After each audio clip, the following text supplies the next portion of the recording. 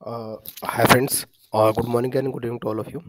So recently I have created my uh, new account in trial account in IICS.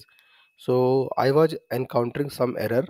Okay, so I just wanted to explain you how in case you are facing this type of errors in future so how you can resolve this simply okay so if you see here i have logged into my snowflake uh, IICS account and i am inside my data integration layer okay so if i'm going to click on this new icon okay new and i'm clicking on this mapping okay.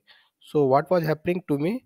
I was not able to create mapping. I'm getting this error continuously okay. So sometimes you might also encounter uh, with this type of error okay. So like while you, you are going to create a mapping so i was a little bit tense like why it is not working whether snowflake has entered some uh, so whether IICS has entered ended trial account creation and everything.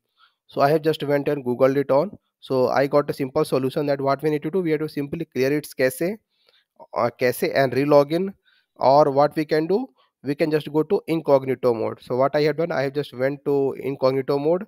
From there i am just able to uh, create these things okay? So what will happen? A new asset will come to us okay? Right right now i'm able to create from here so i encountered this error so i thought i should share with all of you so that you will also not get uh, tensed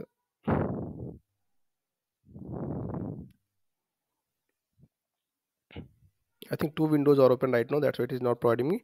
But in that case, so normally what you need to you want to just clear your cache uh, or open in your incognito mode. Then you will be able to resolve that error.